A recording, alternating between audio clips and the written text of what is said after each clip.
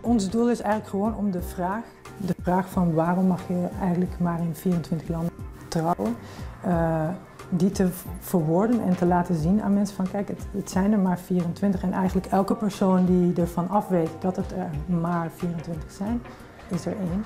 En dat brengt een beetje meer kennis en een beetje meer kennis over een ander brengt iets meer bewustzijn.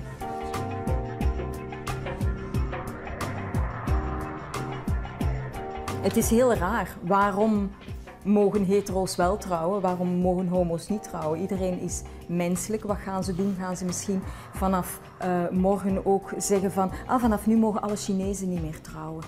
Het is gewoon heel banaal. Het is gewoon iets heel bizar. Dus het is ook dubbel van het moment dat het er dan ergens doorvalt in een land van het mag. Is het dan uiteraard, jee, het mag. Maar dan anderzijds is het, ja, uiteraard Waarom is het nog niet? Ja, tuurlijk. Waarom zou het niet mogen?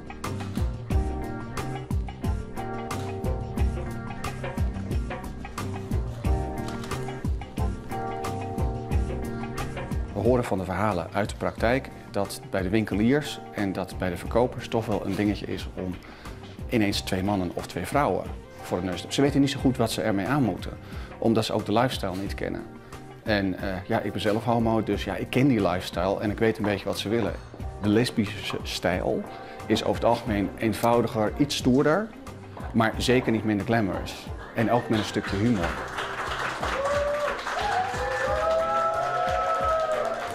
Toen we begonnen met de preproductie van dit project waren er 22 landen waar we mochten trouwen. Ondertussen is Duitsland en Malta erbij gekomen. Uh, wij hebben besloten het een titel te geven met een nummer. Eigenlijk gewoon omdat wij hoopten aan het einde van het traject dan een tentoonstelling te kunnen maken die 22 heet, waar er dan misschien 26 of, of 30 landen in zitten. Waardoor dat je eigenlijk een soort tijdscapsule creëert, dat je ziet dat er effectief positieve dingen ook mogelijk zijn over de loop van een bepaalde tijd. We zijn nogal optimistisch en, en uh, positief ingesteld. Dus we dachten van kijk, als we dat dan effectief 22 noemen, dan, dan zie je echt vooruitgang.